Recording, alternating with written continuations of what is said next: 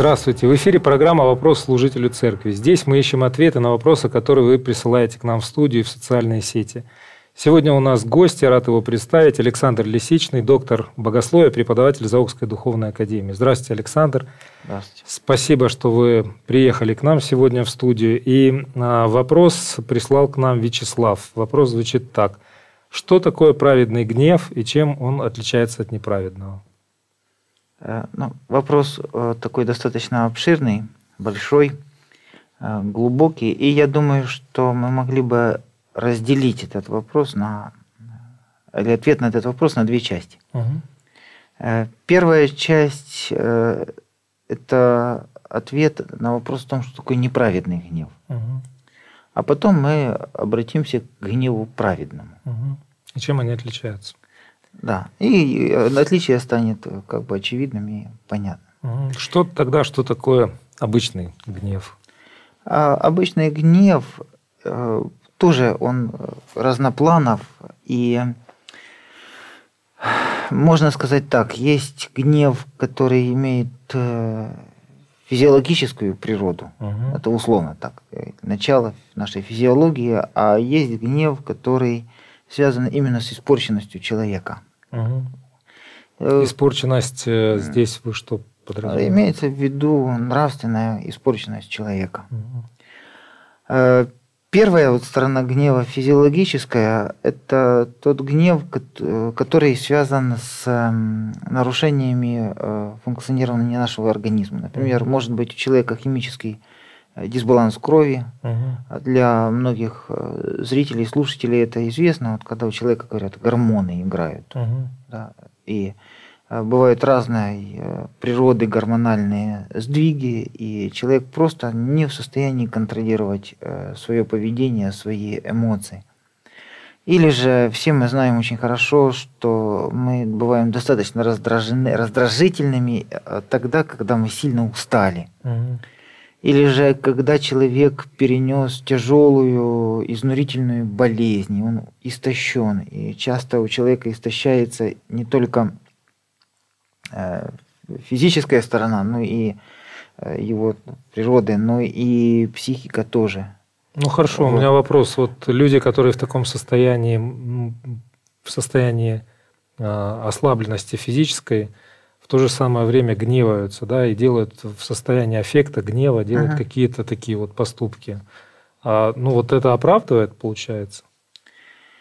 Я бы вот э, в отношении такого гнева вообще не выступал как бы каким-либо судьей. Угу. Потому что э, неизвестно, как бы я себя повел, угу. окажись я в таком состоянии.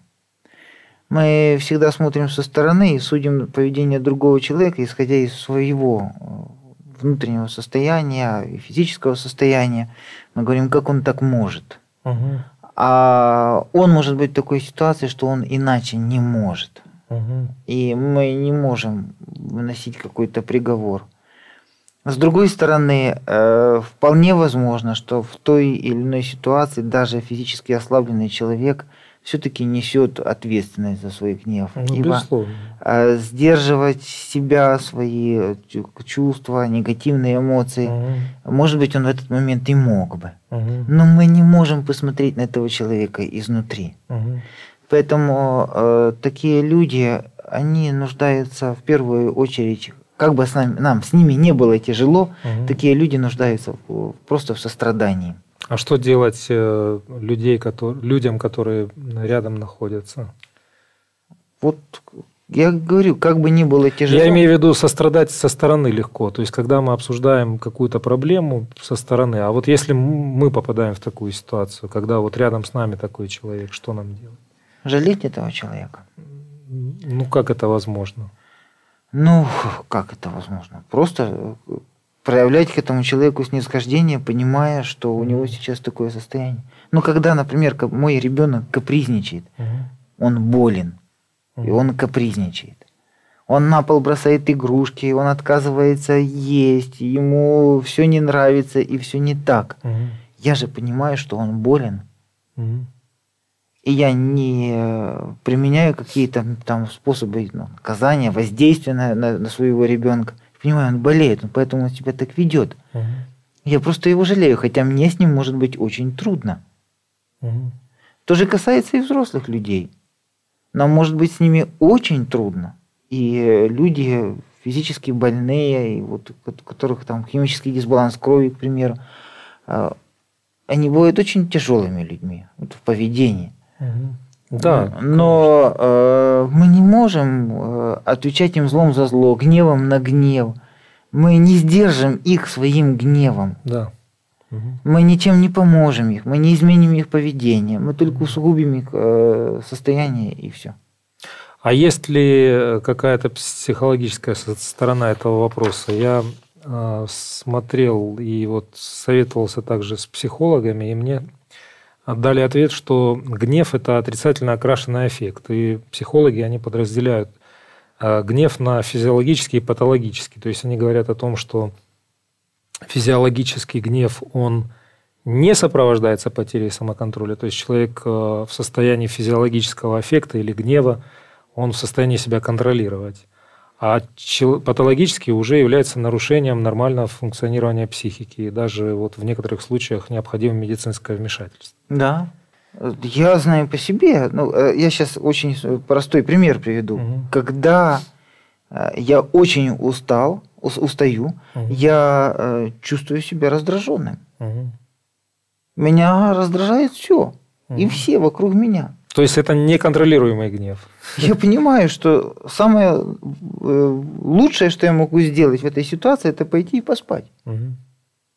Ты поспал, и ты совершенно по другими глазами начинаешь смотреть на окружающую тебя реальность. Угу.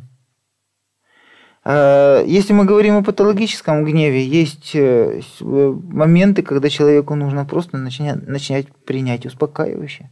Угу. Иногда человеку нужно выровнять дисбаланс, химический дисбаланс крови. Ну, то есть это нормально, да? Сейчас я слышал, что вот вся Европа там фактически на антидепрессантах. Нет, ну мы сейчас не говорим о антидепрессантах, мы говорим это вот другое. О, да, это немного mm. другое. А, и иногда человеку нужно оперативное вмешательство. Я знаю историю одного человека, который был очень гневливым. Mm но э, у него была проблема со щитовидной железой, когда ему сделали операцию, он стал намного спокойнее. Операцию на щитовидке. Вот, вот и все. Поэтому тут иногда э, необходимо и оперативное, и медикаментозное вмешательство для того, чтобы помочь человеку. Александр, а иногда просто надо отоспаться. Да, а вот человек, который находится именно в таком состоянии, он же понимает, что с ним что-то ненормально. Я имею в виду, что вот он может в этот момент, может быть, призвать своих близких, его понять, да, вот э, его поведение, или, может быть, действительно просто пойти и поспать, чем бить посуду, скажем, там в доме. Но вот здесь э, снова же все зависит от состояния человека. Угу. Вполне возможно, что он мог бы и призвать своих ближних, ну, некоторых людей и ресурса на это не хватает. Угу. Бывает, у человека есть для этого внутренний ресурс, и он мог бы сделать этот шаг. Но тут уже не позволяет гордость признать свою слабость, угу. свою неспособность контролировать гнев. Угу. И вот здесь человек уже несет ответственность за свой гнев. Угу. Но бывают ситуации, когда человек вот э, находится в положении, вот как машина на гололеде, на автомобиле. Вот он угу. пошел в занос, и водитель куда ни крути руль, все равно машину несет, крутит по, по льду, и, и он ничего не может с ней сделать. Иногда так человек сам с собой он чувствует, что его несет, но не может ничего сделать. И он пытается каким-то образом отрегулировать свое поведение, но у него ничего не получается. Вот где эта грань ответственности? Когда человек должен понимать, что он все-таки отвечает за то, что он делает вот в таком состоянии. Я, как могу я сказать, где эта грань ответственности? Угу. Тут только Бог знает, где вот человек переходит вот эту грань, и он уже не отвечает за свой гнев. Угу. Мы снова же не можем посмотреть изнутри. Угу. Поэтому я и говорю, что мы не взвешивая, не оценивая поведение другого человека, угу. мы просто сострадаем ему. Угу. А вот суд пусть выносит Бог. Угу. Я очень как бы убежден в том, что, как это может не странно покажется, гневливец – это тот человек, который праведный у него гнев, неправедный гнев, патологический аффект или еще что-то. Любой гневливец Это человек, который нуждается в сострадании. Угу. Очень часто мы отвечаем гневом на гнев. Да. Мы думаем, что э, мы гневом сможем блокировать э, гневливую реакцию другого человека. Да. Но это безумие просто. Угу. Мы ничем не помогаем этому человеку, мы усугубляем ситуацию и только. Угу. Вот.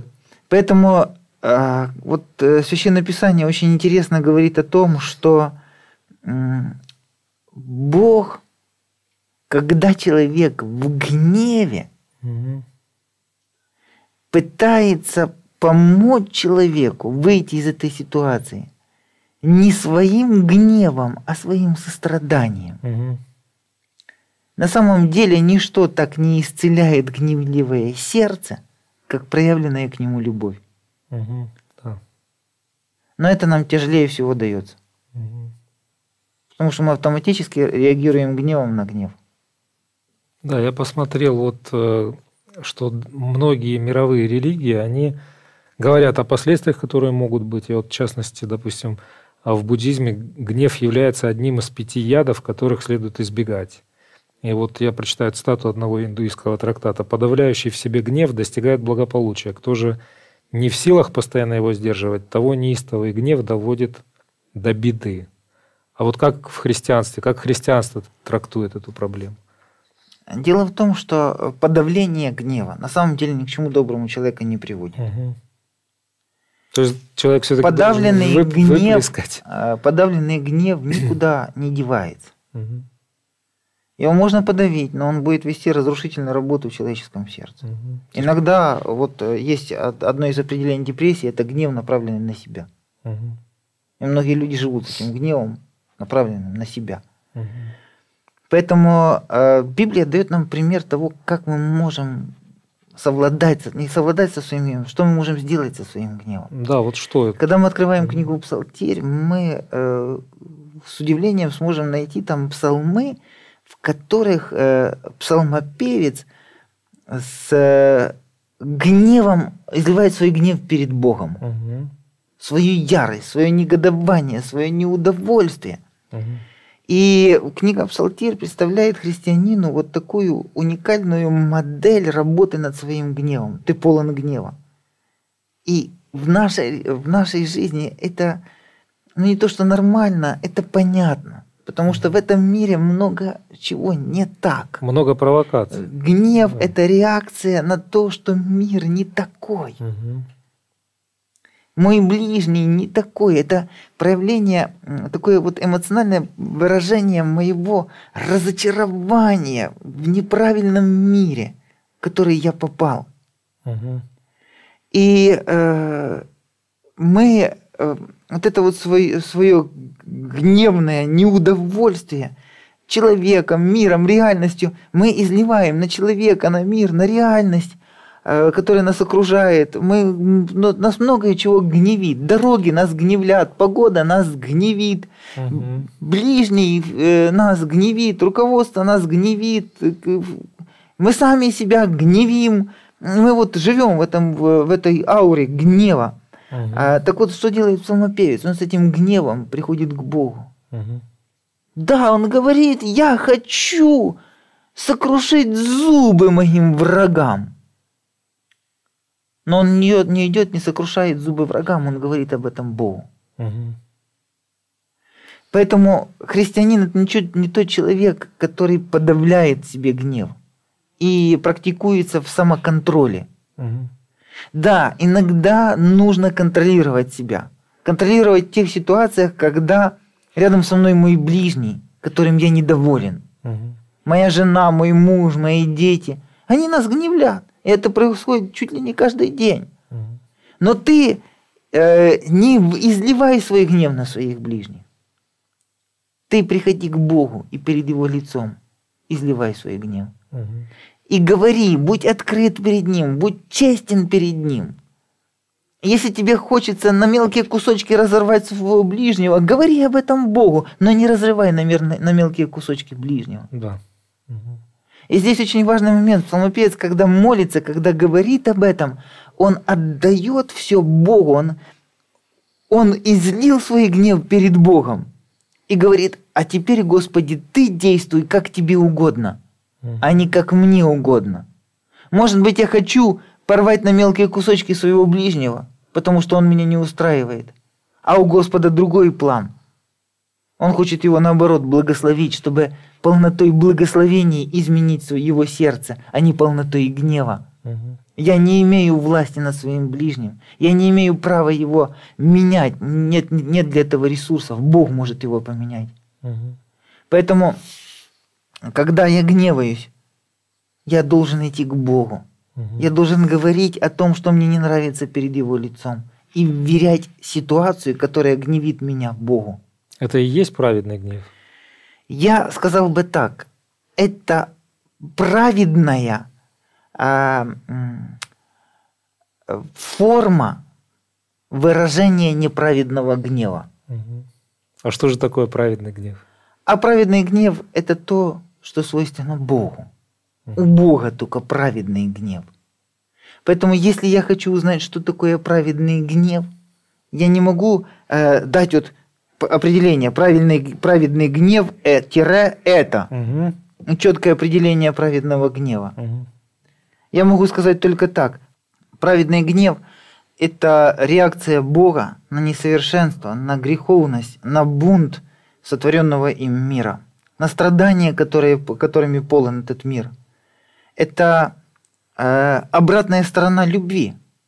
Бог настолько любит этот мир, что Он никогда, ни за что не смирится с тем состоянием, в котором находится этот мир. Угу. Поэтому Он э, говорит свое категорическое нет тому беззаконию и э, всему тому, что творится в нашем мире. Спасибо. Это гнев Божий. А, но мы этот гнев не знаем, угу. потому что мы мало знаем Бога. Я еще раз повторюсь, этому гневу нельзя дать определение. Чтобы понять, что это за гнев, надо знать Бога настолько, чтобы понимать его реакцию на этот мир. Спасибо, Александр. К сожалению, время нашей программы неумолимо течет. Дорогие друзья, пожалуйста, присылайте ваши вопросы, и мы будем рады искать на них ответы. Всего вам доброго. До свидания.